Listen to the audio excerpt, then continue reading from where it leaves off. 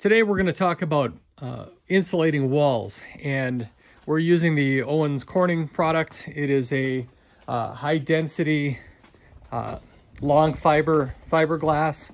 We're using our, our industrial blower uh, and it comes in bales. So we, we load these bales into our uh, into our blower and it runs through runs through the hoses.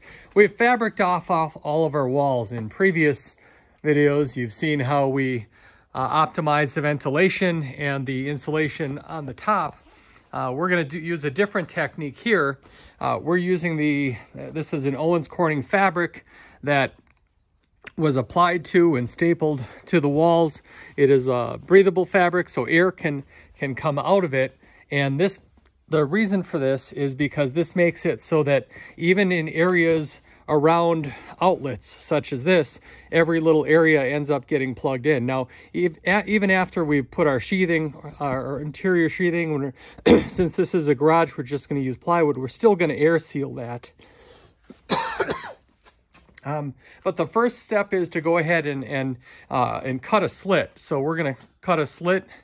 Okay, so you cut a slit in there He's gonna go ahead and cut those slits all the way down and then we're gonna we're gonna use the blower.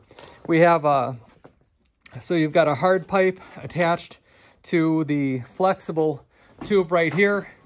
And uh, after this is all done, we're gonna go ahead and put a, because this is going to be a heated space, we're gonna put a vapor barrier and in this, uh, on these, uh, on these walls, and then we're going to go ahead and put the sheathing.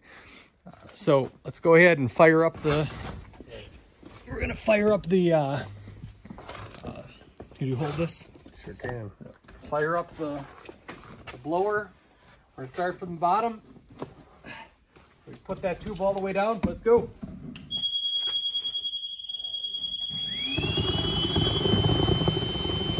And it's, we need to, we need to use a back and forth motion here. What it's doing it's actually going to puff out.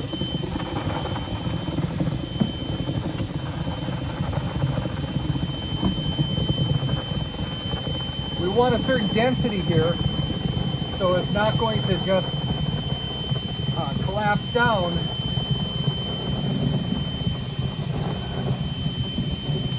And we get about to the middle, and then we go all the way up to the top.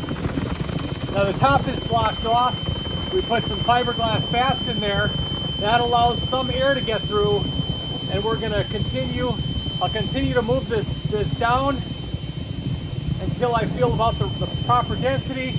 And okay, shut it off. Okay. So now as soon as the, as soon as I'm done here and this is a good density and this is a good density, I'm gonna just pull my pipe out. We've already allowed it to, uh, to depressurize inside of the pipe. Uh, we'll put a uh, we'll put a piece of tape over there right before we skin it. And then we're gonna do every single cavity in this garage the same way. That's gonna make it so that areas like around these uh, around these outlets and around the uh, the the electrical boxes is all going to be closed off. Now, there are areas here, uh, such as uh, such as this corner, which are a little bit more challenging. And there's a stud right here, and there's a stud right here, and those are going to work great for uh, great for for taking and accepting our sheathing. But there's that little void back there. Uh, it was very difficult to to do anything that with that. So what we did was we actually spray foamed inside of that uh, inside of that uh, corner post. Now above here, you'll see that we have these additional areas uh, that are open. We're gonna put some batt insulation in the very top of it. That will make it so that we can blow the air into this cavity right here. It'll block it off so we don't have this little rainfall of, of pink insulation flying down on us. Uh, and then we can get a good puff out and maximize our R values on that wall. Hope this has helped. Thanks for stopping by Energy Masters.